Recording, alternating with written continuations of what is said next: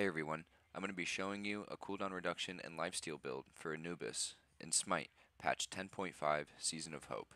And this build was only tested in arenas so far. Okay, so the first item that we're going to buy is Vampiric Shroud. This gives you 4% magical lifesteal and 35 magical power and some MP5. It also gives you a passive, damaging any enemy with an ability restores 3 health and 6 mana.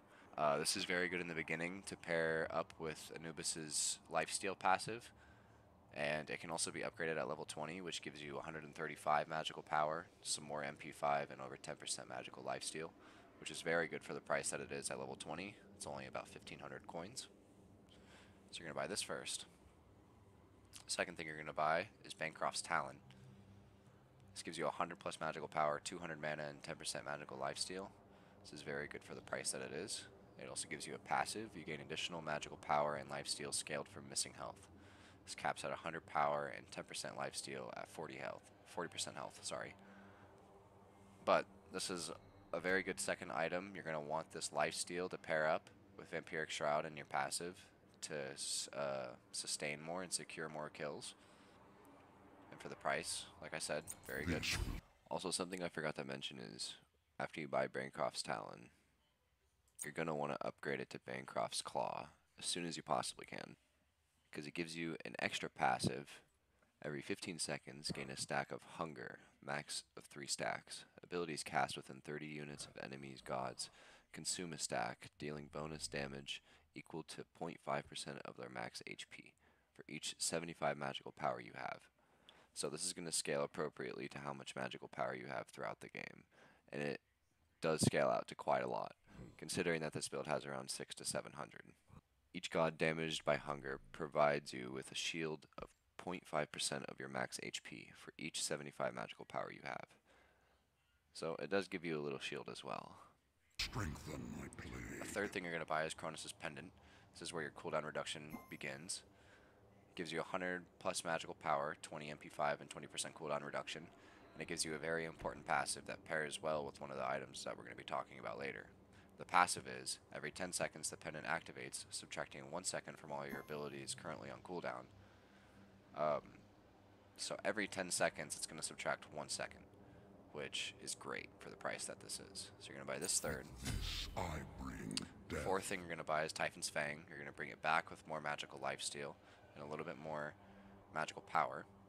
Gives you 85 magical power, 200 mana, 10% magical lifesteal, and 16% magical penetration. Gives you some of that penetration for tanks, which is great, and for the price that it is. This is a very cheap build. Uh, the passive is your healing obtained from magical lifesteal is increased by 15%. So on top of this that it gives you, it gives you 10% magical lifesteal. It increases your other lifesteal by 15% on top of Bancroft's Talon and on top of Vampiric Shroud, on top of your passive. This, this item goes hard. You need this. It also increases your magical power by twice the amount of magical lifesteal you have. So this alone is doubling, almost doubling your magical power and lifesteal. This will strengthen so that's the fourth thing you're going to buy. The fifth thing we're going to buy is Spear of Desolation. This is where things start to get tasty. Uh, it gives you 100 plus magical power, 15% magical penetration, and 10% cooldown reduction. So, like I said, pairing with Chronos' Pendant, every 10 seconds this is subtracting 1 second from your cooldown. The passive on this is, if you receive a kill or an assist on an enemy god, all of your non-ultimate cooldowns are reduced by 2 seconds, and your ultimate cooldown is reduced by 6 seconds. So every 10 seconds you're getting a 1 second subtraction with Chronos' Pendant. And whenever you get a kill or assists, it reduces it by two seconds. So mid to late game, you're looking at about maybe a five to six second cooldown for all of your abilities, which is very good. With this, I bring death. And then the last thing we're going to buy is kind of a toss-up. I use Rod of Tahuti. Um, it gives you 140 plus magical power, 30 MP5, and 8% magical penetration. It also gives you a passive, basic attacks and abilities gain 20% additional magical power against targets below 60% health. This is great because most of the time when we're comboing somebody with a 2-3-1, they're already going to be at 60% health. So anything that happens after that that we do is going to be 20% stronger. Like I said, this is a toss-up. This is an arena build.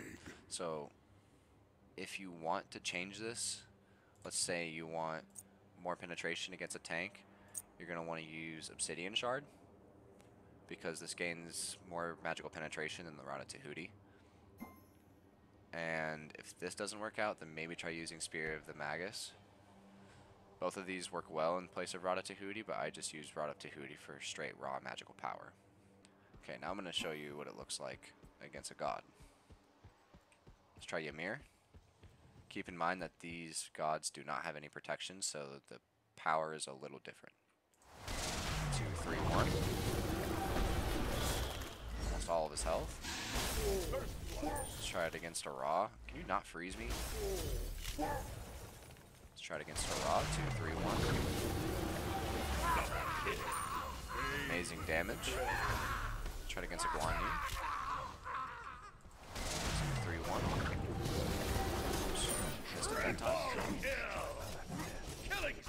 Still amazing damage. But now I'm going to show you some gameplay with this build. Okay, so in this game I'm faced with a Mercury, a Cabrakan, a Discordia, a Thanatos, and a Morgan.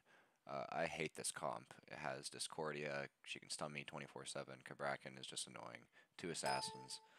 Yeah, it's just all bad. So here I purchase my items, have a little laugh, but then it's time to get down to business. So here I miss my two, but I snag first blood, because I'm a cold certified killer. This Thanatos wanted the smoke, but he used his relic to get away. Here I'm just showing how great he is at setting up a kill.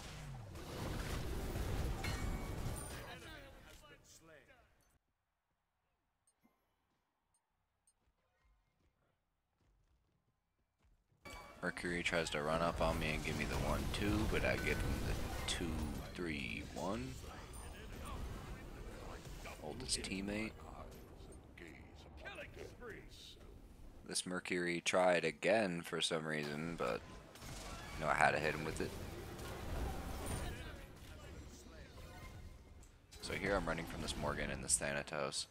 I would have not made it out of this fight alive without utilizing life steal in my build and my team saving me.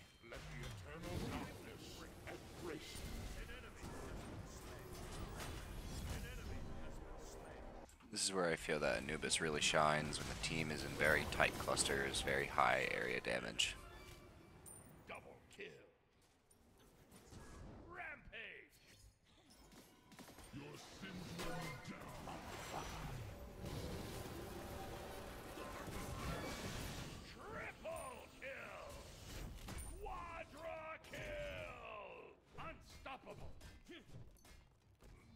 Here I'm just trying to get an angle on this Morgan. They just cluster up. Massive amounts of damage, setting it up for the rest of my team. The Discordia gets me low, but I hit her with that fadeaway shot, you know?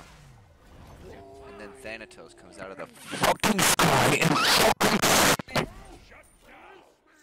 And then Thanatos leaves after diving me and dying. So, we basically rolled them for the rest of the game. So I went 17 and won that game. It wasn't the best game. I had 24,000 player damage, uh, highest in the lobby, but nothing too crazy, you know. So this is game two. The comp wasn't too bad. They had a Bellona, Daji, Cerberus, Yu Huang, and a Ra. One warrior, one tank. Not too bad. So in this clip, I'm trying to engage the Bellona on the right, but I get ulted by the Ra. Even at the health that I'm at, I'm still able to sustain and secure the kill even though I died, I still stayed there and dealt damage. So in this clip, try to keep an eye on my cooldowns and my health. This is full build, full lifesteal proc, full cooldown reductions. I demolish the Daji. I secure the kill on Yao Huang, or however you fucking say his name. I ult the Ra. I try to kill him, but I get greedy and try chasing him, but that's not what I want to talk about. I turn around, I mummify the Cerberus, get lifesteal. Bellona comes in, I also get lifesteal from her and sustain long enough to stay in this fight and deal more damage with my team. And the last two that I throw out misses at this Ra, but if it would have hit, it would have been a great stun tool for my team to use and clean up on afterwards. So in this clip, it's just me and Bacchus. We get ulted by Daji. I relic, try to run away, but I turn around and notice that he's going in. So I go in, catch a kill, catch a ton of life steal, pop my ult, and get two more. So I turn an unfair fight with Daji ulting us, with only one other teammate next to me, into a triple kill just off of my life steal attributes alone. So we end up winning the game. I get the last kill. You know, we get the sick nasty Dubski. So this is the end results. I went 27 and 5 with 11 assists. I had almost 70,000 player damage. Highest in the lobby. But I've seen this build do way more in terms of kill death ratio. Like 30 bombs, 40 bombs. And this build is not to be underestimated with these numbers. So in terms of leveling abilities and how I do it, I tend to put an extra one or two levels into Mummify above my 3 and 1 just because the stun duration increases and the cooldown is the most expensive one out of all three of your abilities. So you want this one to be on the quickest cooldown that you can for the most uptime. So I got a few takeaways and afterthoughts to mention, and I'm not a pro player by any means, but not all games are like the last one that I showed you. In terms of that, I just played this arena game. I went positive. I went 13 and 7, but we still lost the game. My team did absolutely atrocious. I was picking off their squishies, the Scylla, the Neith, and the Serqet. I was picking them off pretty easily. But this Hercules and this Vamana were just bullying me all game. Hercules was stunning me, and Vamana just wouldn't stay off of me. So if you get queued up against two tanks, that is bad juju. So I think the way to play Anubis is to flank appropriately and safely, get in there, mummify, use your combo, get out, and then rotate on your cycles. And you can't be too greedy with this because you'll find that you have no disengage. Anubis doesn't really have any abilities for movement. So pick your battles wisely. So if you made it this far through the video already, I thank you so much for watching my video. And if you did enjoy this build and it does give you value, please go ahead and like the video so it gets to more people and I know to create more content like this. If you guys have any recommendations on the items that I chose or feedback, go ahead and leave it down below as well, and I will try to read those as soon as I can. If you have any mentions for any other gods that you want me to make a build for, I will do those as well. And if you really love me, then you'll sub. And I will love you back forever and ever and ever. Thank you very much, and have a blessed day.